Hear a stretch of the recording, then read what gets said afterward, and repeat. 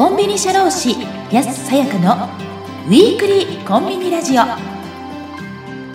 皆さんこんばんは。ウィークリーコンビニラジオがスタートいたしました。パーソナリティは私コンビニ社労士の安さやかです。82回目の放送となります。本日も1時間どうぞお付き合いください。さてちょっと昨日あたりから気になっているのがニュージーランドの地震なんですよね。この明け方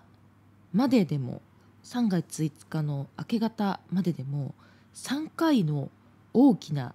マグニチュードの地震が発生しております。1回目が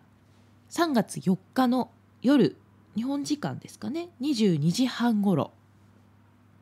マグニチュード7.3の地震が発生しています。でこれに対する日本への津波の影響はないのですが、まあ、ちょっと海面変動がニュージーランド付近ではあるというふうに書いてありましたね。そして3月5日の夜中2時半過ぎこちらは南太平洋でマグニチュード7.4の地震が発生しています。でこれもですね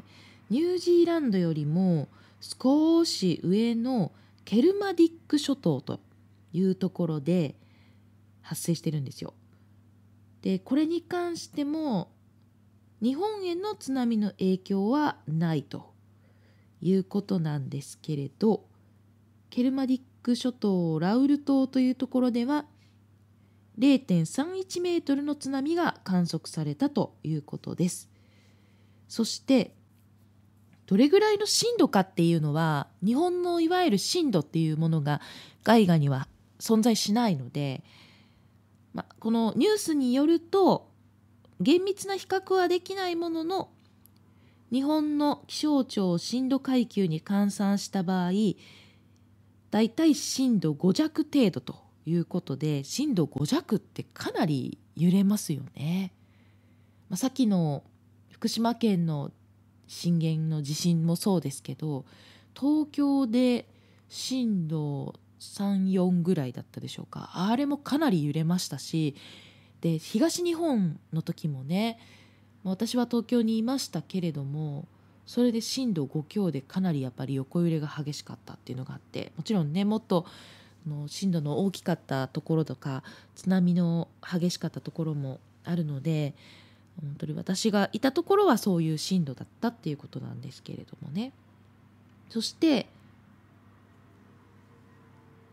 4時28分ですね午前4時28分ごろ日本時間本日のですねでこれでマグニチュード8.1の地震が発生したということです。でこれに関しては、まあ、ちょっとまだ日本への津波の影響というのはよくわからないんですが太平洋で大津波の可能性があるということでどうだったんでしょうね。非常にちょっと心配でで何が心配かって言ったらちょうど10年前の3月に東日本大震災と呼ばれる震災になるきっかけになった地震がねありました。でその2週間ぐらい前1週間か2週間ぐらい前にニュージーランドで大きな地震が起こってたんですよいわゆる、えー、カンタベリー大地震っていうんでしょうかねそれをちょっと彷彿とさせるような揺れ方をしている気がしていて、まあ、その時よりも回数も多いですけど、まあ、非常にちょっと気になるところです。でこのやっぱねプレートって呼ばれるものがつながっているわけでで当然日本もこれ影響を受けるプレートなわけですよ。ってなるとちょっとこれは心配しておかないといけないなっていうのが一つと、まあ、ただ心配してもこれはもう自然のものなのでしょうがないと発生は避けられないわけなのでできる限りその上に住んでいる私たちは対策をしっかり取る必要があるだろうと思います。で私も一応社労士である前に前に社労士であり防災士という資格を勉強して取ってまして、まあ、これねそんなにめちゃめちゃ難しいっていうわけではないんですけどただ本当に自分の命だけではなくて周りの人大切な人の命を守るためにもとっても重要な勉強ができる資格だったので私は2010年に取ったんですよ。でそこでいろんなその防災知識とか実際に人が地震で亡くなった時っていうのはどんな状況なのかとか、まあ、そういったことを本当にありありと見せられた時間でもありました。で私のツイッターコンビニ社労士安さやかのツイッターで Yahoo の防災手帳というサイトをリンクで載っけておりますので皆様も一度こちらご覧いただいて今できる対策を取っていただきたいなって思っています。これでね別に日本に大きな地震が来なければそれはそれでいいわけですよ。まあいいかって言ったら結局歪みはプレートの歪みってどんどん溜まっていくのでプレートが動いてますからね。なので結果的にいつかは地震が来るかもしれないけれども、まあ、すぐすぐじゃないかもしれないでもすぐ来るかもしれないこれだけ短時間に3回も大きなマグニチュードの地震がニュージーランド付近で発生しているということを考えると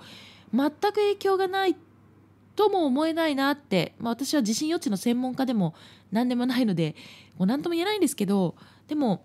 備えはできるじゃないですか。っていう時に例えば自分が住んでいる場所の近くの避難場所ってどこにあるのかなとかあと避難場所自体が実は全く避難場所として適切でないケースもあるんですよね。これは何とも言えない部分ではあるんですけどそうなるとじゃあ広域避難場所ってどこなのかなとかいわゆる公園とかですよね大きいあの炎症を避けられるような家とかがあまりないようなあこれ火災が起こった時とかですけどね特に、まあ、安全に逃げやすい場所というのがあったりするんですけどそれがどこなのかとかそういったことをまず調べるっていうのはとても大事じゃないかなと思います。まあ、地震だけじゃなくて地震の場合はねこう火災とかも発生しやすいケースもあるので風が強いともう一気にその火災旋風が巻き起こって避難場所まで巻き込まれるっていう可能性もゼロではないので一応避難場所に指定はされているけれども他にもないのかなっていうところいくつか複数探しておいた方がいいと思います。あとね津波海の近くに住んでいる方は、まあ、津波の被害が地震が大きいと発生する可能性もあるのでその場合にはどこに逃げるのがいいのか、まあ、これ高台に逃げるってよく話がねありますけれども、まあ、その先人たちの教訓をしっかりと守るという意味でもそれがどこに当たるかっていうのをぜひ確認しておいていただきたいかなと思っています。あとハザードマップですね。これももし洪水とかその津波が起こった時にどこまで影響があるのかとか火災のリスクはどれぐらいあるのかとかそういったことを各自治体が出してくれています。でこれもすごく参考になりますし、まあ、これ100%過信はできないけれどもでもすごい参考にはなると思うので是非こちらも見ておくことをお勧めします。あとは緊急連絡先の設定ですよね171っていう災害用伝言ダイヤルっていうのがありますいないっていうねふうに覚えておくともう忘れないと思うんですけどこの171で、利用すると私無事ですよっていうことを吹き込むことができてでかつその吹き込んだメッセージを聞くこともできるんですよね。ですのでぜひこちらは知っておいた方がいいと思います。要は電話って例えば携帯って実際に大きな地震が起こってみんなが無事だか無事か無事かって言ってこう電話をかけると服装って言って要はあのつながりにくくなるんですよね。電話がつながりにくいともうその無事ですかっていう確認も非常にしづらいわけじゃないですか。で3.11の時はツイッターとかフェイスブックが機能したので私もその時は自分の夫とか知り合いと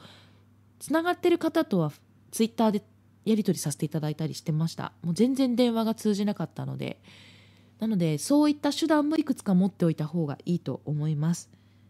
あとは防災用品ですね。これもぜひ持ってないよとか用意してないなっていう方は今のうちに用意をしておくことをお勧めいたします私も防災リュックを買って持っていますけど、まあ、母に買ってもらったのかな、うん、なんですけどあの本当に大事です。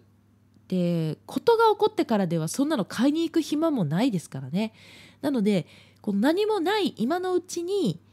買っておく方がいいと思いますよ。で大体価格的にもセットを買うと1万円から、ま、数万円ぐらいの幅であってで、まあ、1人とかね2人だけだったら1個2個あれば十分かなと。十分でもないですね、まあ、一旦はあのしのげるかなとも思うんですがやっぱ家族が何人もいると1個とか2個では足りない可能性もありますので、まあ、できれば人数分ね確保しておくことをお勧めいたしますまた防災グッズの中には食べ物が入ってないものもあったりしますのでその場合は別途買っておくかあるいはえー、入ってるものを選んで買うようにした方がいいですね。まあ、特に保存が効く乾パンとかそのパンの缶詰とかいろんなあとは何でしたっけあの水を入れると膨らむやつとか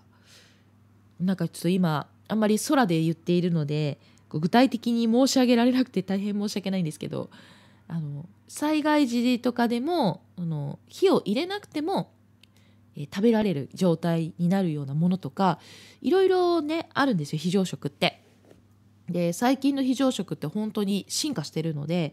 まあ、そういったものも用意しておくといいですね。あと水もうね水が本当に調達が難しくなるので水はあの買いだめしてくださいって意味では全くなくてあの保存が効く水を用意しておいた方がいいと思います。あの普通のコンビニとかで売っている水だと保存期間そんなにないですからねもちろんあのしばらくは持つと思いますよしばらくは持つので例えばこの数日間の間に地震が来たっていう場合はもしかしたらそれはすごくプラスになるかもしれないんですけど、うん、そんなねすぐ来ないかもしれないって言った時に、まあ、一定の期間保存ができるようなその使用の水とかを用意しておいた方がいいですね。はい、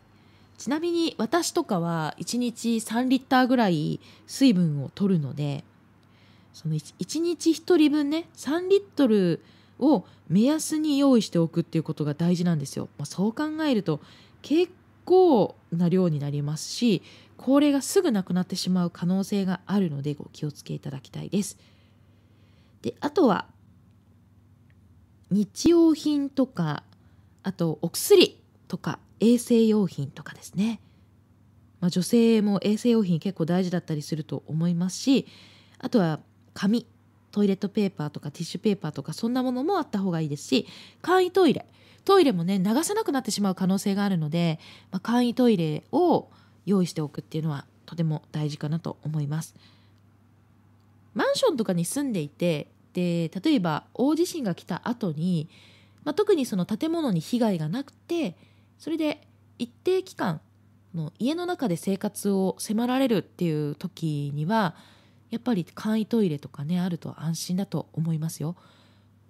そういう時って流せないですからね。はい。などなど、まあ、私自身もですね全然その本当に大きな地震っていうのは体験をしたことがありません震度5強までしか経験がなくて、まあ、それでもかなり大きな揺れだったなって思いますしやっぱ震度6以上のあの経験をされた方ってまあ、どんなんだったのかなってもう話を聞くだけでも本当に胸が締め付けられるぐらいの状況になるようなんですが、まあ、今のうちにね是非この Yahoo の防災手帳を参考にしていただきながら準備をしておくことをお勧めします。まあ、あとは家具ですね。お家の家具って転倒防止策やってますでしょうか？あのいわゆる天井とそのタンスだったらタンスの間にあの棒をね入れておくやつです。つっかい棒みたいなやつ。でそれで補強をしてある程度の揺れに備えられるような環境を設定をしておくことがとても大事です。いざねそういうことがあって倒れてきたらそれこそタンスの下敷きになってしまってあの圧迫されてしまってそのまま命を落とすっていうこともあるので是非皆さんそういったところもですね可能な限り対策をしてないっていう方はしておいた方がいいと思います。まあ、なんといっても高いものを周りに置かないっていうのが一番いいとは思うんですけどもね、まあ、私も自宅はあの本当に低いものしか置かないように基本的にはしているので、ちょっと一部あの本棚とかがあってそれはちょっと高いんですけど、まあ、その場所以外は基本的に物はほとんど置いていないので、まあ、物が倒れてきてそれに下敷きになるっていうことはないんですけどでもねやっぱ何が起こるかわからないですからね本当に皆さん備えだけはしっかりしておくことをお勧めいたします。ということでウィークリーコンビニラジオ今回はいきなりニュージーランドの付近の地震のお話からまあ、日頃の備えについてお話をしてまいりましたけれども、まあ、このように、まあ、このコンビニラジオは基本的にはコンビニ業界に関わる方やコンビニが大好きな方があなるほど役に立つなと聞いていただいて思っていただける情報をお届けする番組です。ですが私は社労士であり防災士でもあるのでこういった防災情報も合わせてお伝えをしております。で今まではというか最近はそんなにこの話することは少なかったんですけれどもちょっとこの昨日あたりからですね若干不穏な状況なので、まあ、何が起こるかわからないとちょっと危機感を思いまして、まあ、皆様にお伝えする注意喚起ということでお伝えをしてきました。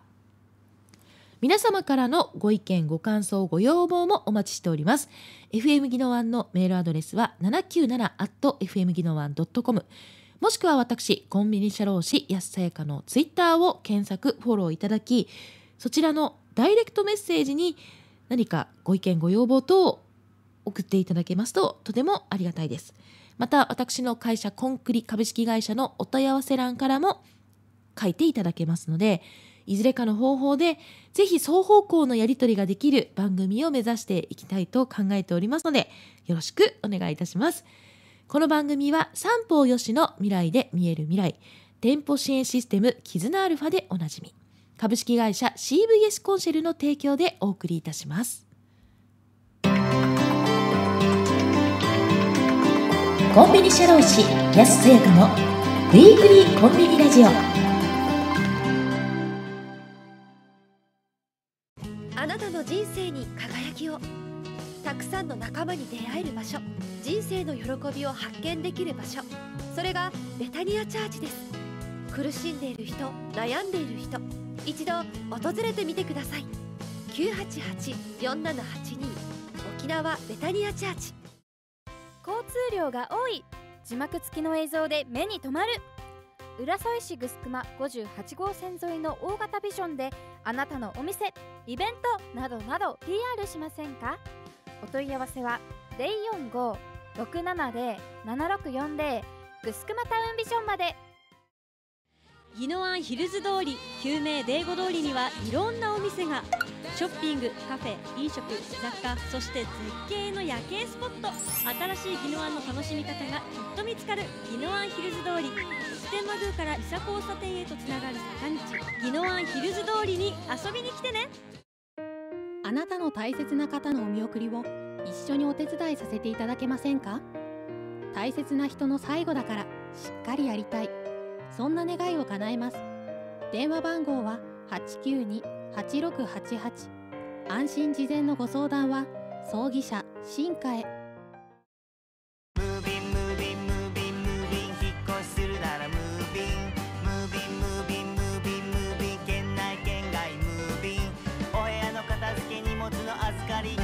沖沖縄引っ越しセンター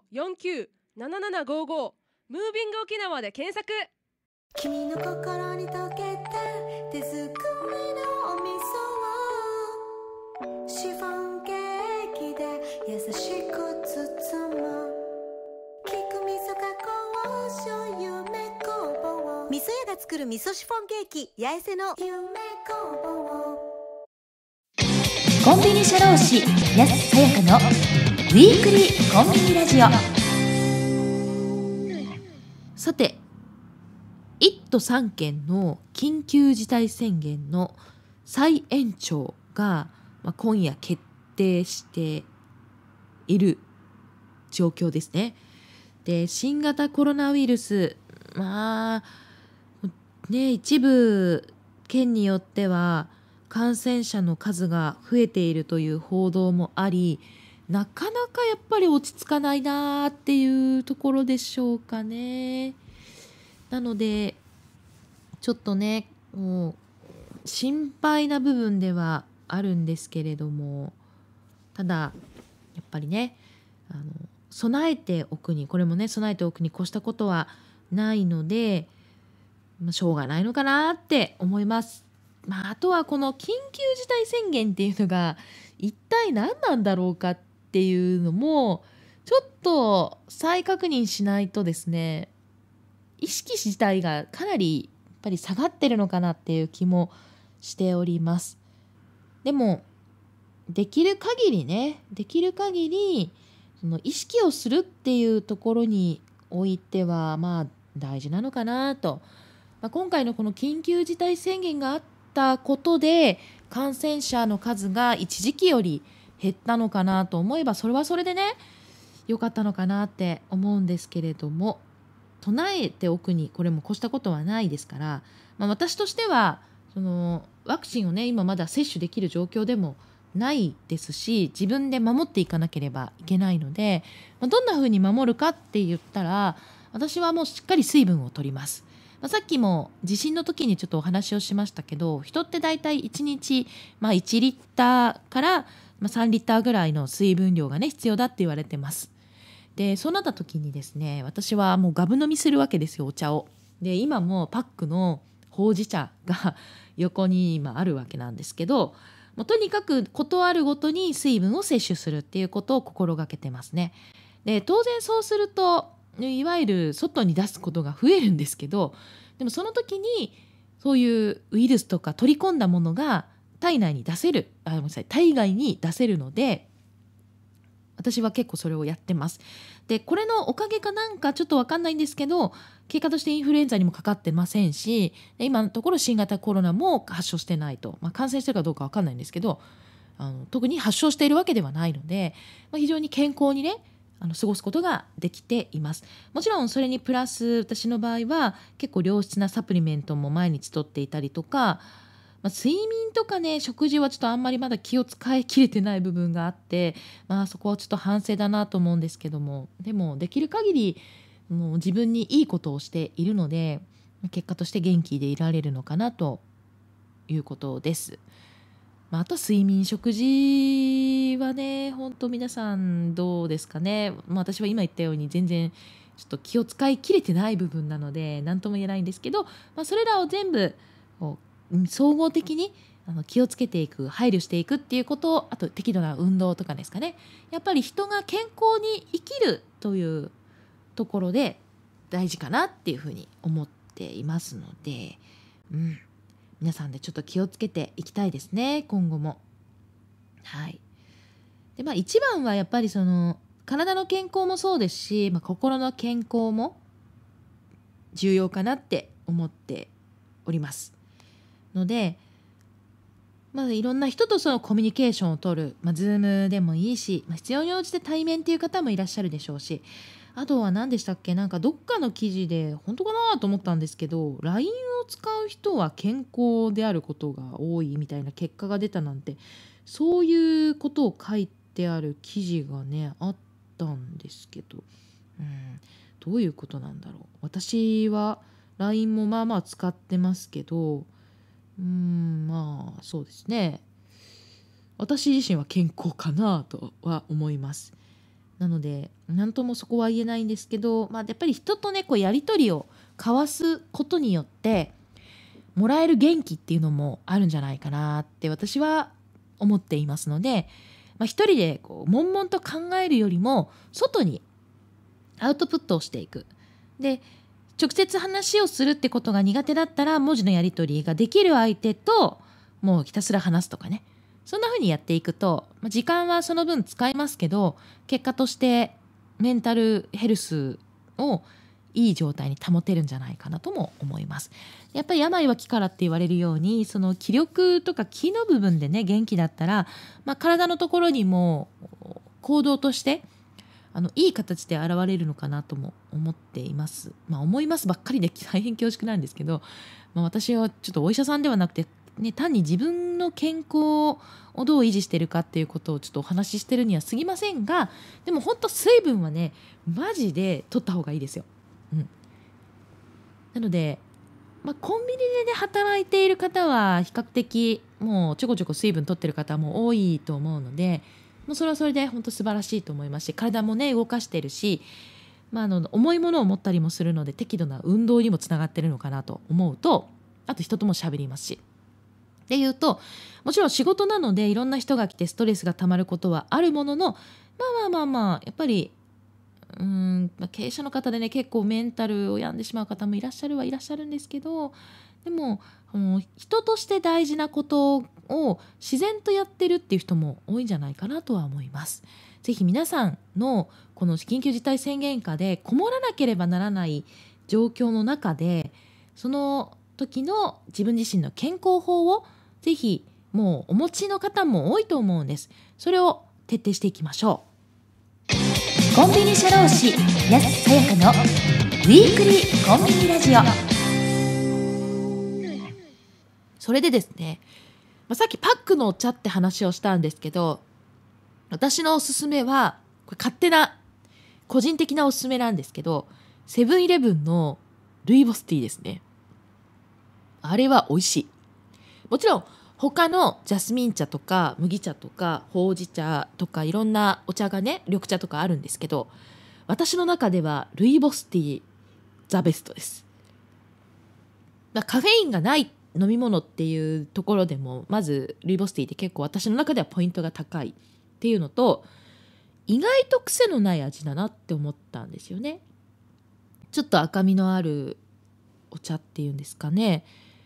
日本茶に比べると少し独特な味と独特な色味もあると思うんですけど私は結構あれが好きででセブンイレブンで買う時はもうほぼルイボスティーって決めてます。だからルイボスティーが売られてないお店に行くと悲しくなります。あれはね結構私だけじゃなくて周りの人もファンが多いんですよ。でルイボスティーを扱っているパックを扱っているのってえっと沖縄とかだとね結構ルイボスティーってあちこちにあるんですけどなんか関東だとセブンイレブンでしか見かけない気がします。コンビニだとね。もしかしたら私のリサーチ不足かもしれないので。そうじゃないよっていう方はぜひ教えていただきたいんですけれどもルイボスティーはね本当に美味しいです。もちろんねあのない時はジャスミン茶を買ったりとか、まあ、他のチェーンだとあの結構ジャスミン茶買うんですけど、まあ、今日はねちょっとほうじ茶ファミリーマートのほうじ茶が私の手元にあるんですがこれがねもう本当にね美味しいんですよ。じゃあこのルイボスティーの効果と効能についても なんか合わせてお話ししてみようかなと思うんですがこれハーブティーなんですよね実はね。へえと思って。知らなかったです。ノンカフェインのハーブティーなんですね。で実際にそういうことなので妊娠中とか授乳中の女性も赤ちゃんへの影響を心配せずに飲めるお茶です。でまたリラックスタイムにも最適でカフェインに敏感な方も中にはいるそうで、まあ、そういった方にも人気のお茶となっています。で原産地は南アフリカ共和国なんですね結構貴重なお茶だっていうふうに言われていますで紅茶っぽく見えるんだけどそうではなくてルイボスっていうマメ科の植物から作られる発酵茶なんです。ミネラルも豊富で鉄の吸収を妨げるタンニンの含有量が多い。でノンカフェインと。鉄分が不足しがちな人とかあと貧血でちょっと悩んでるとかそういった方にもおすすめでございます。はい。南アフリカのお茶なんですね。結構貴重ですねそう考えると。はい。そして、まあ、これの成分っていうんですかね主な成分とか特徴っていうのは先ほどもお伝えした通りミネラルがたっぷり入ってるということです。カリウムとかマグネシウムあとリン亜鉛などなど人間に必要なミネラルが豊富です。でさらにすごいことにこのルイボスには私たちの血とか体液の、えー組成比率ですとか摂取時の理想割合に近い状態でそれぞれのミネラルが含まれているということなんです。なのでルイボスティーでミネラルを摂取すると効率よく体に作用しやすいと言われているそうですね。それから活性酸素つまり体の酸化老化の原因になるものですね。体の酸化を引き起こす活性酸素に立ち向かう SOD というスーパーオキサイドディスムスターゼというもの、うん、スーパーオキシドっていうのが活性酸素ディスムターゼというのが取り除く酵素の頭文字を取ったもの。これがねあのまさにいいそうで。活性酸素を除去する働きがある物質なんだそうです。うんなるほどね。つまり SOD 用酵素っていうのが含まれていてでいわゆる、えー酸化っていうか老化の防止とまではいかないけれどもまあ綺麗に年齢を重ねられるといったようなところでしょうかね。うん。これはね結構老化とかに悩みがある方とかはすごくいいんじゃないかなと思います。知らなかったですね。こういう体の酸化活性酸素に効果が効果って言ったらあんま良くないですね。と特徴がある。期待できる、うん。まあ、補えるってことですね。この酵素を補えるっていうことがすごくいいっていうのは私も初めて知りました。あとは水に溶けやすく抗酸化作用を持つポリフェノールが豊富であると。ポリフェノールってねよく聞く名前かなと思いますが、まあ、これは抗酸化物質ですねこれも。光合成により植物が自ら作り出す抗酸化物質ということで。苦味とか色素の成分でほとんどの植物に存在すると言われています。でこのポリフェノールの一種であるフラボノイドっていうものがルイボスティーには特に多く含まれているというのが特徴的だそうです。フラボノイドというのは、まあ、抗酸化作用が強くって活性酸素をはじめとした有害物質を無害な物質に変える働きがあるそうです。うんなるほど。つうことはですよこれすごいやっぱ飲み続けた方がいいんじゃないと思っています。でポリフェノールって水に溶けやすい性質があるんですが比較的短時間で体に作用はしてくれるものの効果があまり長期にわたらないそうです。ですのでこまめに摂取することが大切。でセブンイレブンさんは1リッターのルイボスティーとあとペットボトルのね500のペットボトルの販売を確かしていたはずですからまあご自身の状況に合ったルイボスティーを選択されるといいのかななんて思いますね。まあ、あとは貧血体質でも楽しみやすい低タンニンですね。タンニンっていうのは先ほどもお伝えした通り鉄の吸収を防ぐものなんですけどこの含有量が少ないっていうのが特徴です。なので貧血で悩む方にとっても親しみやすいお茶とされています。はい。では効能っていうとあんまりいいかどうか微妙なんですけど、まあ、何がいいかって言ったらダイエットですね。ノンカロリー糖質ゼロなのでダイエットに期待できる飲み物である。あとはカリウムの利尿作用によってむくみが改善されやすいっていうのもどうやら期待できるそうです。それから便秘の改善。このルイボスティーの大きな魅力の一つである抗酸化作用。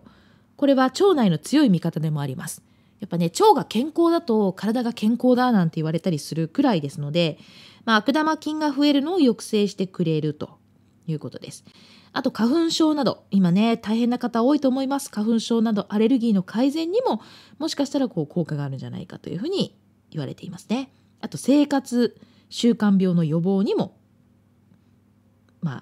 効果が期待できるということですねあと美肌アンチエイジング妊活などなどまあ本当にさまざまな体にとっていいことがたくさんこのルイボスティーにはなんかあるようですね。私はもう本当好きでよく飲むので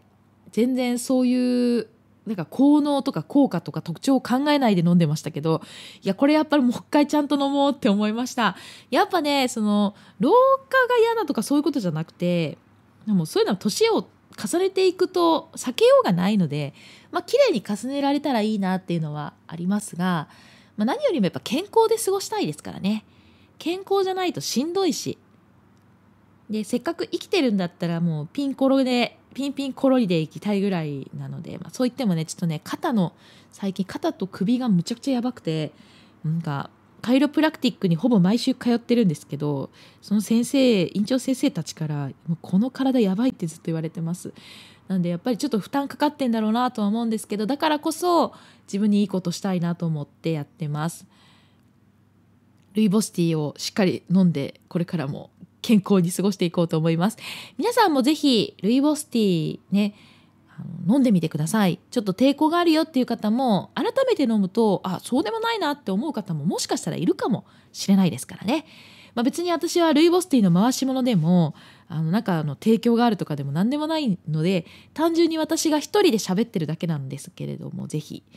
あいいなと話を聞いていただいてルイボスティー飲んでみたいなって思った方はコンビニであればぜひセブンイレブンに行ってみてください。沖縄の方はねあのあちこちに多分ルイボスティーと三品茶売ってるので、まあ、ルイボスティーを選択していただいてあの赤いパッケージに入った飲み物があるのでそちらをご買い求めいただければと思います。以上何のコーナーだったんでしょう？お茶のコーナーですかね。ルイボスティーについてお話をしてきました。コンビニ社労士安さやかのウィークリーコンビニラジオ。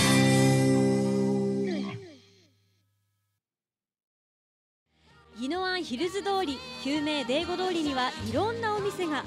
ショッピングカフェ飲食雑貨そして絶景の夜景スポット。新しい宜野湾の楽しみ方がきっと見つかる。宜野湾ヒルズ通り。普天満宮から伊佐交差点へとつながる坂道。宜野湾ヒルズ通りに遊びに来てね。あなたの人生に輝きを。たくさんの仲間に出会える場所。人生の喜びを発見できる場所。それがベタニアチャーチです。苦しんでいる人悩んでいる人一度訪れてみてください。988-4782沖縄ベタニアチャーチ。ムービンムービンムービンムービン引っ越しするならムービン。ムービンムービンムービンムービン。県内県外ムービン。お部屋の片付け荷物の預かり。ムービン沖縄引っ越しセンター。ゼロ一二ゼロ四九七七五五。ムービング沖縄で検索君の心に溶けた手作りのお味噌をシフォンケーキで優しく包む聞く味噌加工醤油め工房味噌屋が作る味噌シフォンケーキ八重瀬の夢工房あなたの大切な方のお見送りを一緒にお手伝いさせていただけませんか？大切な人の最後だからしっかりやりたい。そんな願いを叶えます。電話番号は892-8688安心事前のご相談は葬儀社新華へ。交通量が多い。字幕付きの映像で目に留まる。浦添市ぐすくま58号線沿いの大型ビジョンであなたのお店イベントなどなど PR しませんか？お問い合わせは045-670-7640ぐすくまタウンビジョンまで。コンビニ社労士安さやかのウィークリーコンビニラジオ。さてここからは本のご紹介のコーナーでございます。今回は私もねよくお付き合いをさせていただいている方の本をご紹介します。佐藤圭さん。佐藤圭さんとも呼ばれています。この佐藤圭さんが書かれた英会話はすべて二分でつながるという本ですね。副タイトルとして会話が弾む二分一セット法という本をご紹介していきます。こちらは IBC パブリッシングさんというところから出版されている、まあ、英会話系ですかね。あの会話とかその試験とかそういったものに強い出版社さんでしょうかね。私もなんか見たことが何回かあるんですけど、まあ、この本はタイトルの通り英会話を鍛えるための本です。で私はねこの佐藤圭さんとは BNI という異業種交流団体でいつもご一緒させていただいている方なんですけどすごい方なんですよ。えーまずプロフィールこの本のプロフィールを読み上げますと1989年11月19日東京と生まれ私の10個下です母子家庭でどん底の貧乏を経験するも大学に行きたいという思いを持ち六浪を経て大学に入学。母校の横浜市立大学にて言語教育英語教授法大学入試改革について研究し英語教育の在り方を研究した。12年以上英語講師を務め教えてきた人数はオンラインオフラインを含め延べ5万人以上。早稲田アカデミーの合宿授業や講習通常授業ではナンバーワン講師に選ばれる。大学在学中には英検1級を取得し数々のスピーチコンテストで成果を残したということで2016年度には英語スピーチコンテスト全国1位第5回全国学生英語プレゼンテーションコンテストの最優秀賞これは文部科学大臣賞ですね。そして第50回工学院学長杯英語即興スピーチコンテストで全国1位を取られています。すご。そして大学卒業時には神奈川県の高校英語教員に一発合格するも自ら生み出したメソッドで受験生をサポートする方が効果的だと確信し英語学習塾イングリッシュ X を開講。現在はイングリッシュ X 塾長。C オブワールド株式会社の代表を務め受験生から社会人まで幅広く英語を教えている学習者一人一人に合わせた授業や4技能をバランスよく鍛える授業は常に定評があるということでいやこのね里圭さんって私、まあ、圭さんって言ってるんですけどすごいんですよ。別になんかどこかに留学をしたとかじゃなくてもう本当に純日本で英語を一から学ばれてペラペラの方なんですよ。でしかも発音がむちゃくちゃ綺麗なんですよね。でこの里圭さん YouTube もやっていらっしゃって最近では英語で人生開花花が開くの開花ですね。人生開花っていう、えーポッドキャストもネットラジオのポッドキャストも始められています。でねもう聞いてるだけでめちゃめちゃテンション上がります。であともう本当に確かにあのスピーチうまいんでどの話を聞いてても YouTube もそうだしポッドキャストもそうなんですけどすごくうまいもうね英語の発音が綺麗だから真似したくなるっていうことで私はもう本当におすすめの一冊です。でこれねあの英会話やりたいっていう人っていっぱいいると思うんですけどあの実は145ページしかないんですよ。ちょっと薄めの本でしかもなんかちょっとこう読みやすいぐらいのあでもこれは英語版だから大きさは他の本とあまり変わらないのかな？もう本当にあの見やすい本です。でその中でこのタイトルの通り英会話は全て二分でつながるって書いてある通り例えば「ごめんなさい I'm sorry」っていう英会話があって「I'm sorry」っていうのはみんな例えば日本でも英校の授業で習うからみんな言えますよね。何かあったら「あごめんね」っていうのを「I'm sorry」だっていうのはみんな分かってる。でも「I'm sorry」だけだと終わりじゃないですかそこで。ごめんなさいって言ってるだけなんですよ。じゃあそこにプラスもう一文つけましょうよっていうのがその彼のね結構教える時のポイントになっていてでそれがねすごく私としては刺さったんですよね。分かりやすいしあそっかともう一文付け加えることによって英会話が生きてくるんだっていうことに気がつきました。例えば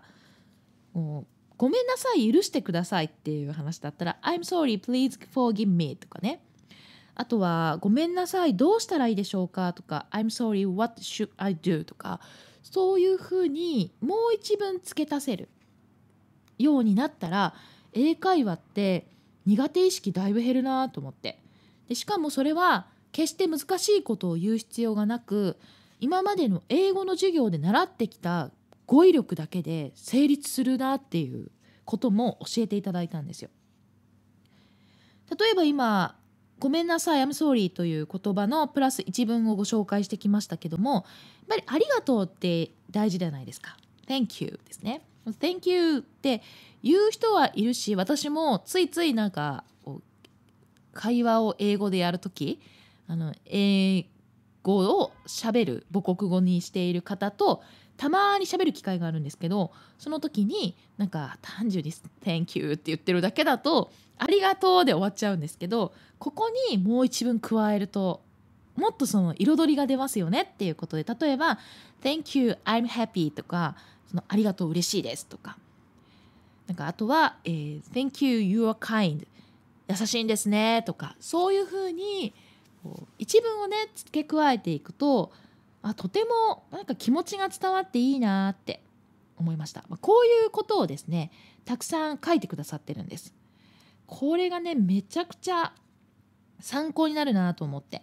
であと最近はあの過去に23回登場してゲストで登場してくださっている有限会社ヒューマンスタイルの千崎正和さんのお声かけで1日5分の英会話っていうのを、まあ、今少しずつなんですけど習慣化始めたところなんですよ。で私も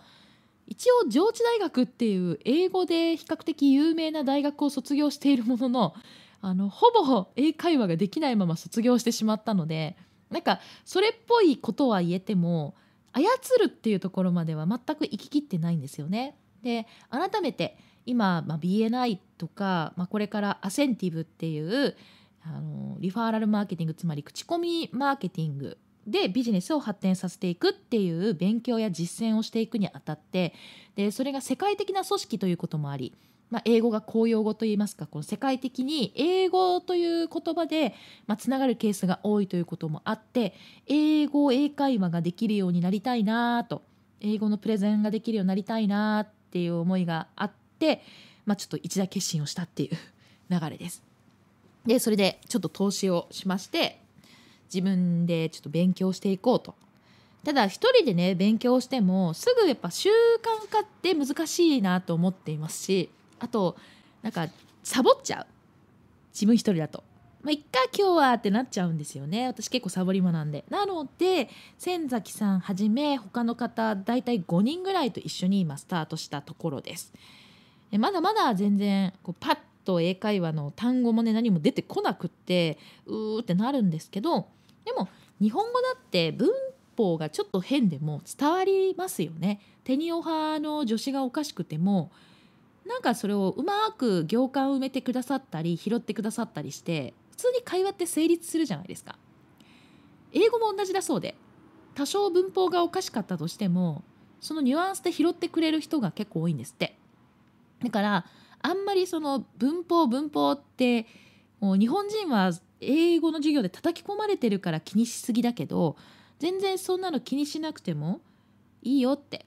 あんまり変な組み立てだとさすがに伝わらないでしょうけどでもある程度できればいいよって。でそれが難しければ単語でも「ハッピー」っていうだけでもなんか幸せって言ってる方が聞こえるんですって、まあ、だから勢い持ってねこうどんどんチャレンジしていくっていうこともまずは大事なのかなって思っております。まあこの英会話は全て二分でつながるなんかどうしてもその Thank you, I'm sorry ぐらいしか言えないなみたいな方はですねぜひ一度手に取っていただいてあそっかとこれだったら自分も使えるな喋れるなっていうのがあれば真似していただいてそれをずっとこうひたすら言い続けていくとそこに対しては自信が持てるようになるんじゃないかなって思います。もちろん I'm sorry とか Thank you 以外にももうちょっと難しいと言いますか長めの文章プラス一文っていうのもねあったりするのでこれはね本当にどんどんちゃんとやっていくとめちゃくちゃ英語力つくんじゃないかなって思いますよ。って言っても私もねまだまだ始めたばっかりなので、まあ、里圭さんの本とあとポッドキャストと YouTube とそして、まあ、今一緒に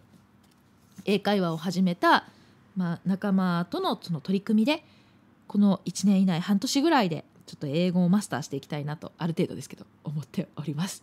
以上本のご紹介のコーナー英会話はすべて二分でつながる。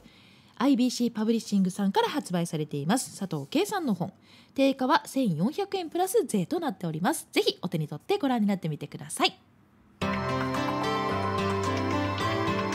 コンビニ社労士安さやかのウィークリーコンビニラジオ。さてこちらは来週の予告でございます来週はゲストの方をまたお招きしてお話を伺っていきますえー今回のゲスト来週のゲストの方はこれまたすごく私にとっても勉強になるし非常にいつもお世話になっている方です。で今大阪にお住まいでで私が活用している BNI という世界的な、まあ、このマーケティングプログラムの組織の、えーある、まあ、その大阪の地域を束ねていらっしゃるそこで、えーま、いわゆるリファーラルマーケティング口コミによってどんどんご紹介によるビジネスの発展をサポートしている方高須英二さんという方をゲストにお迎えする予定です。で実は高須さんもね本を出されているので、まあ、こちらは来週ご紹介をしていこうと思うんですけど、